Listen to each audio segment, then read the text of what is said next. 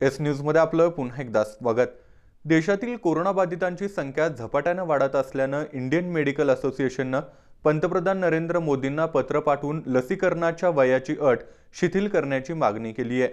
असोसिएशननं अठरा वर्षावरील सर्वांना लस देण्याची विनंती केली आहे. या पत्रामध्ये असोसिएशननं सहा महत्त्वाचे मुद्दे मांडले असून त्याची अंमलबजावणी तातडीनं करण्यात यावी अशी अपेक्षा व्यक्त केली आहे.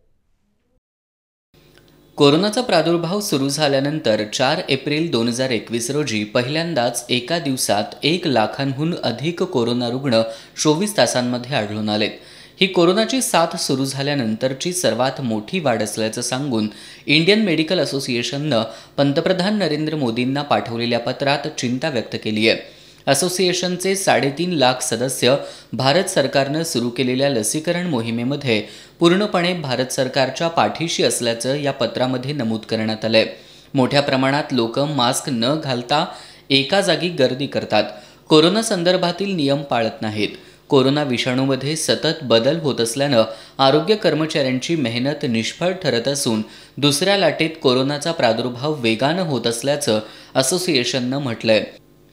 ज्या पद्धतीनं कोरोनाचे रुग्ण वाढत आहेत त्यामुळं लसीकरणाची गती वाढवून अठरा वर्षावरील सर्वांना लस देण्याची परवानगी दिली पाहिजे अशी मागणी या पत्रात करण्यात आली आहे.